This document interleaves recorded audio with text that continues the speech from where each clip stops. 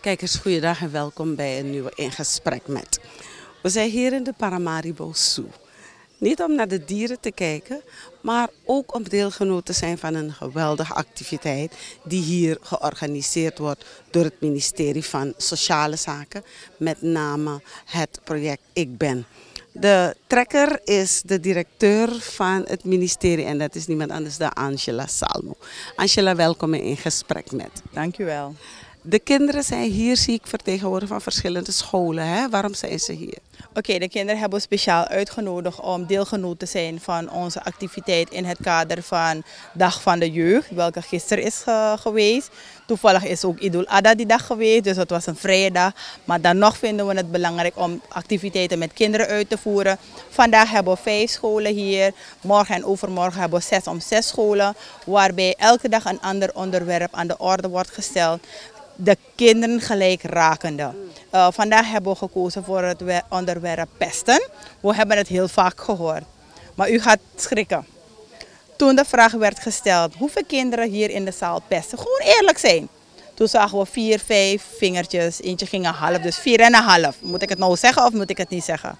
U gaat schrikken. Toen de vraag werd gesteld, hoeveel kinderen worden gepest, waren drie kwart van de vingers in de lucht. Dus zo erg is het dan gesteld met, het, het, met pesten. Want ik vertelde ze het verschil tussen pesten en plagen. En plagen vonden ze leuk. Een haartje zit een keertje. Je schoen is een keertje een stuk gegaan, et cetera. Dat vinden we leuk. Omdat jij zelf ook erom moet lachen. Maar wat we merken is dat kinderen anderen pijnigen. En dat pijnigen gaat soms zelf door tot naar de volwassenheid. En nu is het tijd dat we dat eigenlijk doorbreken. Dat moeten en kunnen we doorbreken om dat onder de aandacht van mensen te brengen en al met al erop te gaan zitten dat dat niet meer gebeurt. En het ministerie van Sociale Zaken die werkt ook met partners hè, om dit te organiseren. Oké, okay, bij het, het Integraal Kinderbeschermingsnetwerk, daar is de voorzitterschap uh, in, in, handen van het ministerie van Sociale Zaken en Volkshuisvesting. Gelijk uh, rechterhand is dan natuurlijk het ministerie van Justitie en Politie. Natuurlijk het sociale kan en natuurlijk het justitiële kan. Daarnaast hebben we Volksgezondheid, het ministerie van Volksgezondheid, het ministerie van Onderwijs, Wetenschap en Cultuur en natuurlijk het ministerie van Sport en Jeugd zaken. Daarnaast hebben we ook een aantal NGO's, waaronder Stichting Ruma's, we hebben Stibula en Stichting Plegers in de Centrale. En last but not least, de UNICEF. Ja, de financierder? Ook tevens een financierder, ja. Oké, dus jullie hebben het over pesten. En de kinderen hebben aangegeven dat ze gepest worden. Wat geven, ze, wat geven jullie ze dan mee? Hoe gaan ze het tegen moeten gaan of hoe gaan ze ermee om moeten gaan? Oké, omdat er vandaag vijf scholen zijn, zijn er ook vijf werkgroepen. Elke school blijft dan bij elkaar vanaf de tent. Hier achter ons zien we tent 2 en zo gaan we uh, zo aan. So, dan zijn er steeds een begeleider die het onderwerp onder hun aandacht zal brengen op een speelse manier. En een speelse manier kan zijn dat ze het uiteindelijk, de informatie die ze hebben gehad, in zang kunnen uitbrengen, in een gedicht, in een toneelvorm. Zij hebben dan een manier uitgekozen om dat uit te beelden. En dat zullen ze dus eind van de dag dan presenteren aan het publiek.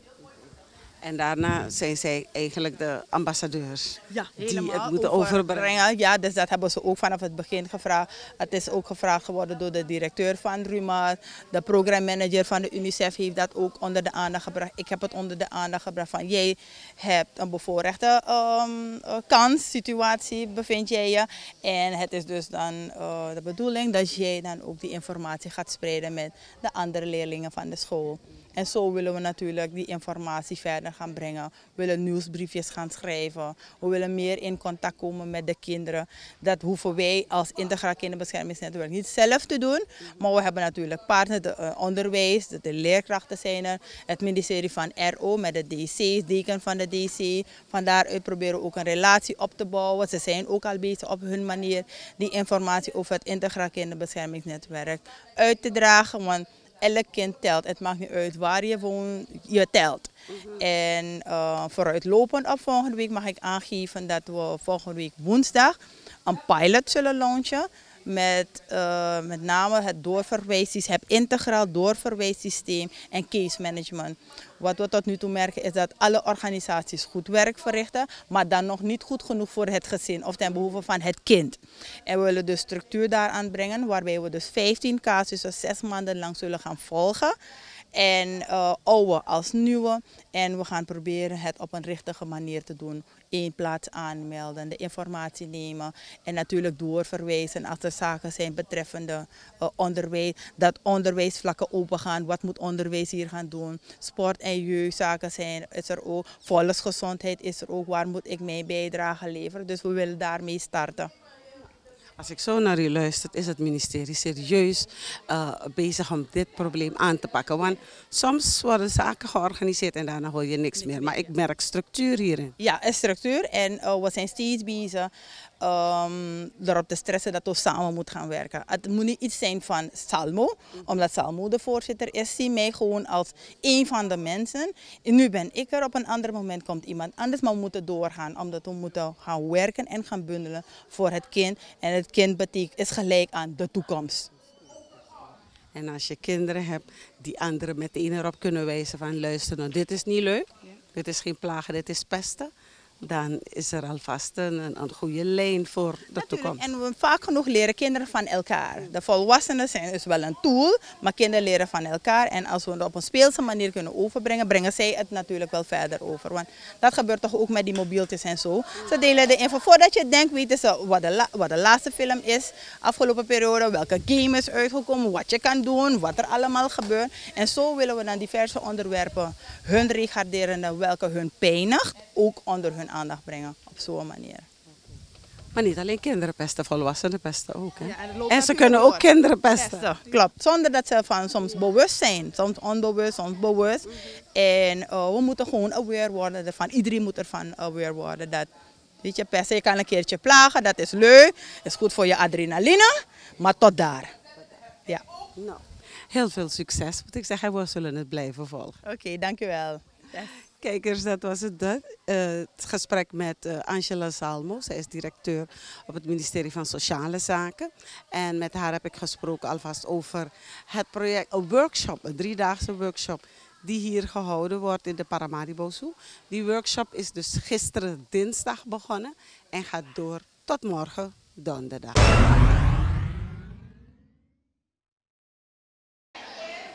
Bij deze workshop gaat het om kinderen dus het is zaak dat ik ook met enkele kinderen praat om te vragen wat ze van deze workshop vinden. Jij bent? Simeon Graskamp. En? Miguel Salagado. Zo, oké. Jullie doen mee aan een workshop vandaag. Weet je waarover het gaat? Het gaat over kinderen mishandelen en pesten. En het is niet goed, want het is geestelijk. Kinderen kunnen zelfmoord plegen. Heb jij ooit iemand gepest? Nooit. Ook niet geplaagd? Ben jij ooit gepest? Ja. Ja, hoe? Wat? Wat gebeurde er? Dus ik was onderweg. Ik had mijn rapport thuis. Ik zou naar huis gaan.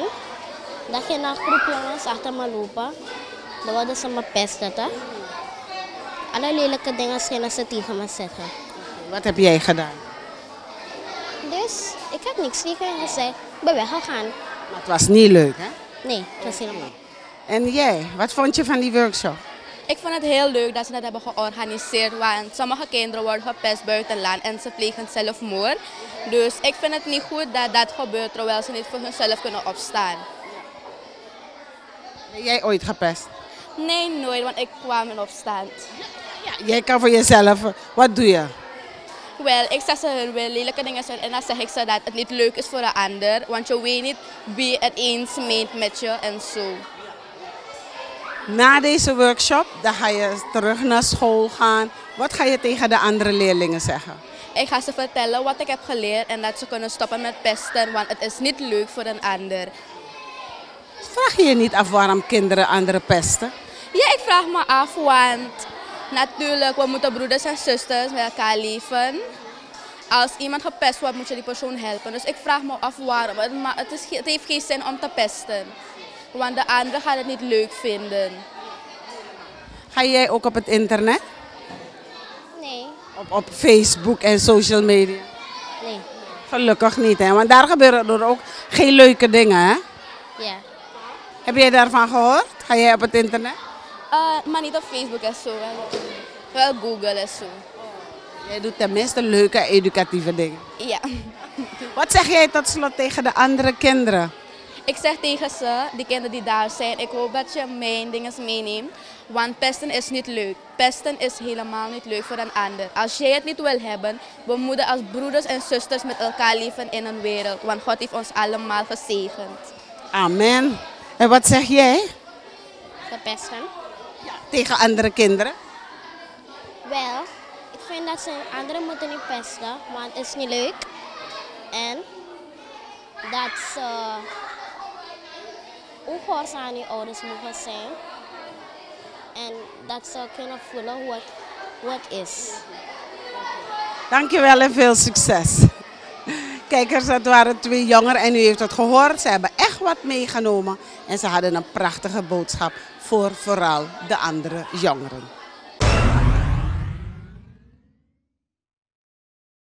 Een andere actor in deze workshop is een mevrouw die niet moe wordt om op te komen voor de jeugd. En dat is niemand anders dan mevrouw Emmy Hart. Mevrouw Hart, u bent ook hier gezellig in de Paramaribo Zoo. Vijf scholen zijn hier vertegenwoordigd. Een heel interactieve driedaagse workshop. Waarom deze workshop? Omdat, eh, ja, ik moet je eerst groeten en de mensen die kijken. Maar eh, deze workshop is nodig. Ik denk zeer hard nodig. Omdat er in Suriname dingen gebeuren die oogluikend worden toegestaan. En ik bedoel, als je een workshop geeft, wil zeggen dat je naar buiten toe aandacht vraagt voor eh, de jeugd. Het problematiek wat jeugd betreft. Dus vandaar dat deze workshop voor ons, voor Ik Ben, ik ben lid van Ik Ben, als RUMAS, zijn er drie NGO's erin. eh, Stubula, pleeggezinnen en eh, RUMAS. En wij hebben gedacht, jongen, wat het ook kosten, oud kosten, er moet iets gebeuren, want RUMAS is in augustus ook tien jaar. We bestaan Deze maand dus. Wanneer? 26 augustus. Maar 21 augustus hebben we een receptie waarbij we jongeren eh, gaan huldigen. Sommigen gaan een award krijgen. Ja, tuurlijk. Jongeren die helemaal aan de grond waren, zich hebben opgewerkt en nu iets geweldigs in de maatschappij zijn geworden. Dankzij hulp van ouders, ouderen. Dus als wij niks hadden georganiseerd, was er ook niks gebeurd. Dus Rumas is opgestaan. We hebben gevraagd, we zijn jarig, mogen we iets doen? En toen heeft eh, UNICEF, die partner is van Sociale Zaken, gezegd, go ervoor. En we zijn eigenlijk we zijn erg erkentelijk, als SOSAVO, ik ben, en UNICEF, dat we als Rumas het voortouw mochten nemen hierin, dat we samen iets konden doen. Nu hebben jullie vijf scholen gekozen. Welke scholen, hoe is dat toegegaan? We hadden zes scholen uitgekozen. Eén school heeft op de valreep nog eh, afgezegd. Het moet me van het hart om iets te zeggen. Laat me even nadenken hoe ik het ga zeggen. Ah, we zijn al weken bezig om scholen te interesseren om mee te doen. Maar we hebben gemerkt in Suriname een vervelende tendens. Vanaf 1 augustus zijn er een heleboel scholen die je niet meer kan bereiken, want kinderen gaan niet meer naar school. Leerkrachten, sommige leerkrachten, die zijn ook thuis. Ik bedoel, boy, ik heb het, omdat we huiswerkbegeleiding doen in Rumas, weten we dat vanaf eind juli je kan stoppen. Niemand volgt les meer. Niemand wil, is geïnteresseerd meer vanaf eind juli. En eh, dat heeft gemaakt dat er zes scholen moesten zijn. Maar de scholen die, de zesde school zegt, mevrouw, er zijn geen kinderen en er zijn ik ga die naam niet van die school niet noemen. Maar het heeft me pijn gedaan omdat ik vind, ik ga het gewoon zeggen, laten we dan gaan kijken als het een soort cultuur is geworden dat in augustus niet meer gewerkt wordt. Dan laten we iets creatief doen met die kinderen. Noem een creatieve week of noem twee weken creatief. Maak repetitie tot eind juli. Eerste week augustus rapportvergadering. En dan verplicht je de leerkrachten om tien dagen of zeven dagen uit te trekken met kinderen, creatieve dingen. Er is zoveel in Suriname te doen. Kinderen blijven thuis. En het ver- vervaar waarom Rumas organiseert. Ouders weten niet wanneer kinderen in de school zijn of, of buiten, of thuis, of op straat. Dus vrij spel. En daarvoor zijn we bang. Het Intergraad Kinderbeschermingsnetwerk, ik ben, is erg bang dat er dingen kunnen gebeuren met onze jongeren, want daarvoor zijn ze jong. Ombudshuis, dan is die gevaar. Minanga you e vrede, dan is die takasan. Nee, doe maar. Terwijl mensen ze moeten bewust maken. Dus ik, ik pleit ervoor dat bij het ministerie van Onderwijs vanaf volgend jaar een week wordt uitgetroffen voor creatieve vorming binnen alle scholen. Vroeger zag ik kinderen vaak in groepen, eh, de palmentuin in de stad, maar nu zie ik ze niet meer inderdaad. Kinderen, ik bedoel, alles, laat me zien als ik het goed zeg, alles is generaliseren. Veel is aan het verwaarlozen. Veel is in Suriname aan het wegtanen. En ik bedoel, als je ogen hebt, kan je het zien. Als je je ogen sluit, ga je, ga je het niet zien. Ik heb ogen om het te zien. Omdat ik weet dat ik weet dat op dit moment onze jongeren in gevaar zijn. Dus wanneer ouders aan het werk zitten, moeten ouders weten dat hun kinderen op school zitten. Op dit moment, dan is het dat scoren van of zo. Dus wij vinden dat eh, scholen zich moeten. Ik, en mijn complimenten voor een heleboel scholen hoor. Er zijn hier binnen. Er zijn toch wel scholen die echt bewust eh, met de kinderen iets doen. Dus mijn complimenten. Maar het moet algemeen gebeuren. Nou wordt er een driedaagse workshop gehouden. Wat verwacht u aan het eind? We gaan een boekje schrijven. Rumas is boekjes aan het schrijven. We hadden even de vaders aan het woord gelaten, de moeders bij Moederdag en kinderen aan het woord. Wij hebben ook aan met Ik Ben gepraat dat deze workshop moet resulteren in een boekje. Dat kinderen uh, iets moeten doen, iets creatiefs. Uh, het gaat vandaag over pesten. Heel vervelend onderwerp. Kinderen worden de hele dag, elke dag gepest over de hele wereld. Maar in Suriname begint het erge vormen aan te nemen. Dus wij willen dat kinderen bewust worden gemaakt wat pesten is. Wat het nadeel is van pesten. Hoe voorkom je het? En aan het eind verwacht ik dat deze kinderen bewust naar huis gaan om andere kinderen te helpen motiveren om het niet te doen. En dat we een boekje kunnen schrijven er zijn notulisten gevraagd om alles te notuleren. Dat we aan het eind aan de UNICEF een boekje, uw sociale zaken krijgt een boekje. En dat willen we alle scholen distribueren. Dus bij Rumas gaat het er niet om het praten. Ze willen dingen doen en daarna ook vastleggen voor de toekomst. Als de directeur een doener is, dan denk ik dat mensen die achter mevrouw Hart lopen moe worden van mevrouw Hart. Maar ik bedoel, als je bij Rumas wil werken, moet je een doener zijn. Natuurlijk moet je niet alleen doeners hebben. Je hebt ook mensen nodig die eigenlijk uh, rust, ho. En die hebben we ook in de stichting. Maar Rumas is een doe-organisatie. Als ik kijk wat we in tien jaar hebben gedaan, dan is het heel veel om op te noemen. We hebben een heleboel projecten gedraaid. Ik geloof 23 projecten. En je moet je voorstellen dat een project gemiddeld 100.000 is. Gemiddeld. Dus we hebben 23 projecten gedaan. We hebben heel veel activiteiten gedaan met moeders, vaders. We hebben activiteiten gedaan met scholen. Trainingen gegeven aan scholen, school, schoolkinderen, schoolleiders. We hebben uh, uh, maatschappelijk werkers getraind. We hebben getraind in Santa Boma. We hebben, eigenlijk hebben we buurtenhuizen getraind. We hebben een scala van trainingen verzorgd. We hebben een scala aan community service gedaan, gratis. We hebben onze jongens gepakt.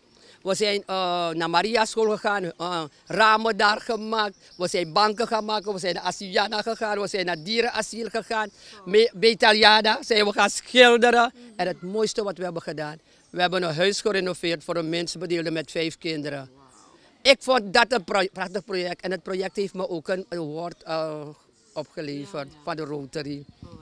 Dus we hebben mooie dingen gedaan voor Suriname. We hebben onze onderzoekingen gedaan. We hebben veel stagiaires gehad uit het buitenland. En het mooiste is, we hebben ook twee aanbiedingen. Uh, twee van onze jongens mogen volgende week of over twee weken naar Nederland voor een studie. Dus Suriname is ook gezien. We zijn pas geweest in Israël. Ook voor Rumas. In Mexico ben ik geweest. In uh, Sint Lucia ben ik, ben ik geweest. Guyana zijn we geweest. Dus Rumas mag er zijn. Rumas slaat ook half vleugels uit. Ja. Nou, mevrouw Hart, gefeliciteerd. Dank u wel. Op na 20 jaar Rumas, want u heeft er nog zin in als ik zo naar u kijk. U gaat door. Dus, uh, en de, de, de stichting heeft bewezen dat ze eigenlijk een onlosmakelijk deel is van Suriname. U zegt het heel goed.